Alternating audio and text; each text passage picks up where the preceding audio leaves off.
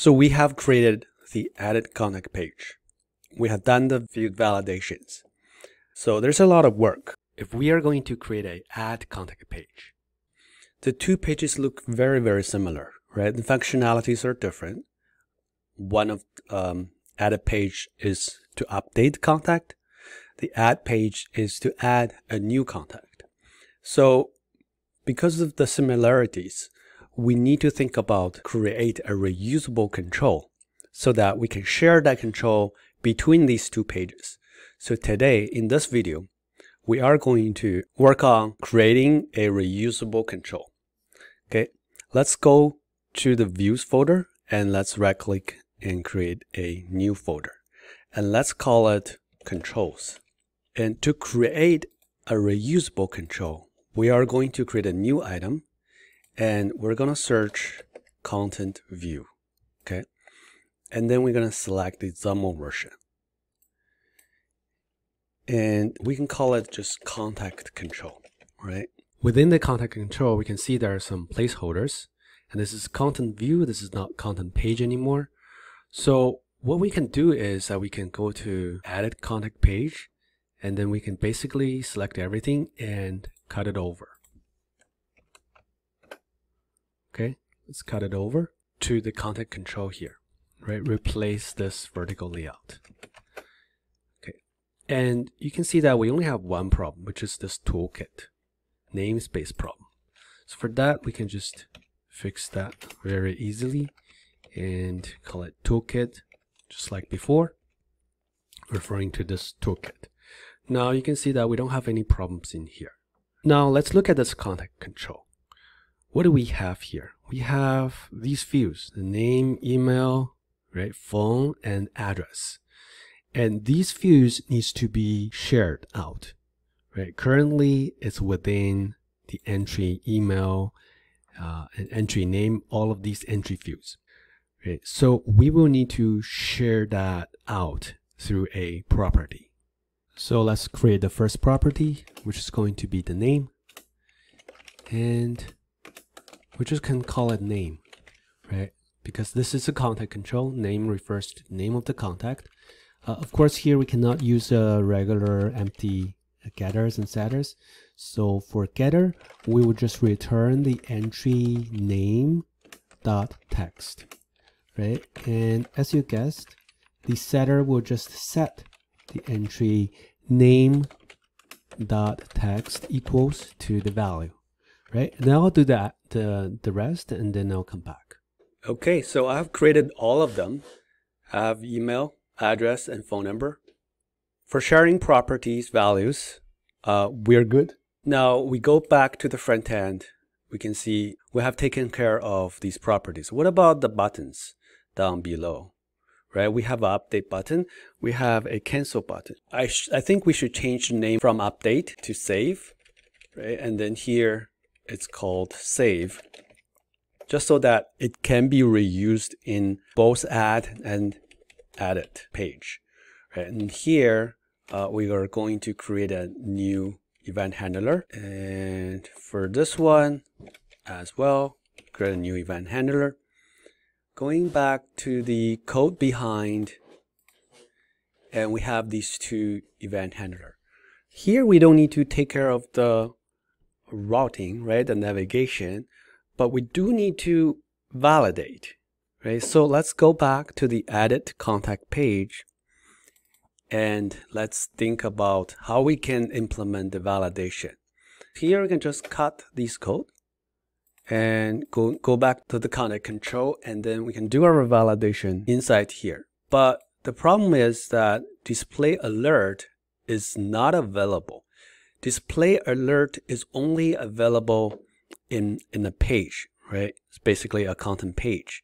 So actually, actually let's go back to our uh, edit contact page. If I do a control Z to undo the change, and then if I right click, if I actually hover my mouse over it, you can see it's the display alert is from page, right? And our content page is a page, but the content view is not a page. So display alert is not available here. But that's fine. That's fine. We are going to delete it, okay, both of them. But here, we will need to spit out the error. So how do we spit out error? We need to create a event.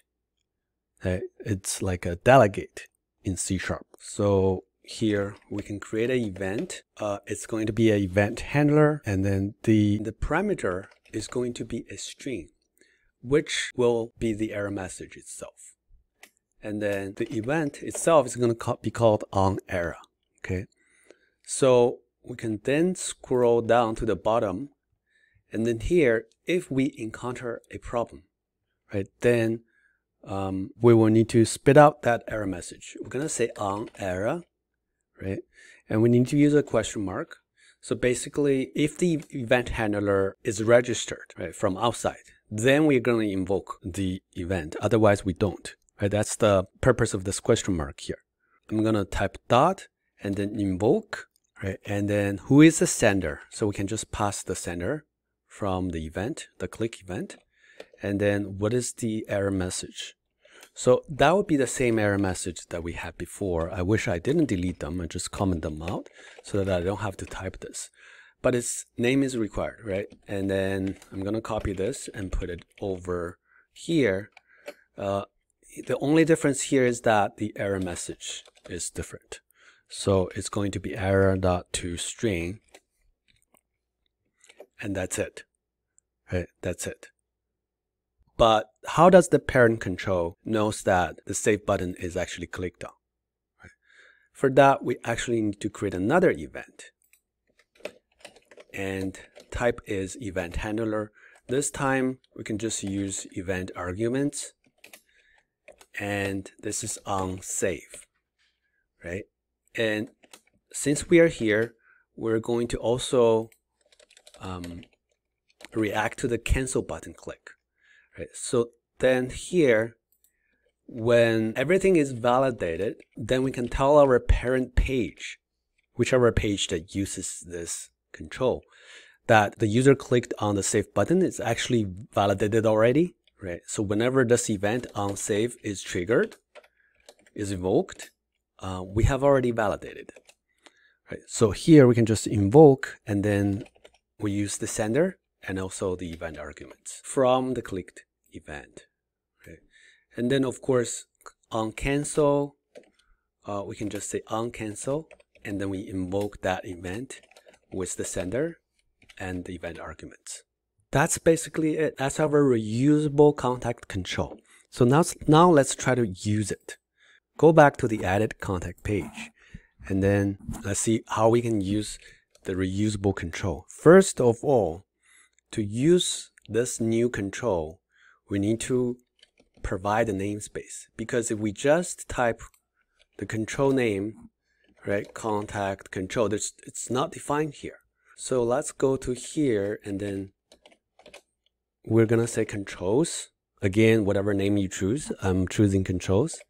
And then it's under controls. So we can find it right here. Then we can say controls, providing the namespace. Well, it's already showing up, right? All of them already showing up. There's only one. Uh, and then we can give it a name and we can call it contact control. And then we're going to register a onsave event handler here. And we're going to create a new one. Actually, um, we're not going to create a new one. We're going to create, we're going to reuse one because there's already one. So it's this update, right? Uh, and then here on cancel, again, we're going to reuse this one. But on error, we don't have it. We can create a new event handler, right? And that's it. You can see it's very, very simple on the front end. Go back to the back end. Uh, it's even simpler because we are reusing these event handlers. Uh, this onsave, we don't use it anymore. We don't use it. We can delete it.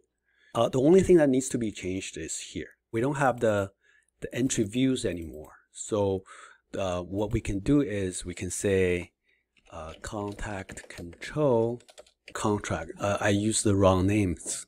It should be contact instead of contract, right? Contact control. So go back here. We need to fix this as well. Contact control on error. Okay. So here we're going to say contact control dot name, right? And then this is going to be contact control dot address and contact control dot email. Last but not least, contact control dot phone number. Okay. And then here the validations don't need to be happening here anymore because this event handler will only be invoked or triggered when the validation has finished, right, has passed. What we do need to change is these assignments. So I can just delete all of them. And then I'm going to copy from here and paste it over here. Okay. And then just fix the problems. Okay, so now on error. What do we need to do when we encounter an error? This is a string which contains the error message.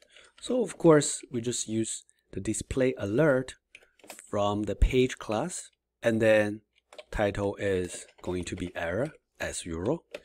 Message is just the message, right? And then cancel is OK button. So that's it. That's how we use our reusable contact control. Let's, let's give it a test. Okay, you can see the applications running. Let's click on any one of them. And now we see the edit contact page. No difference.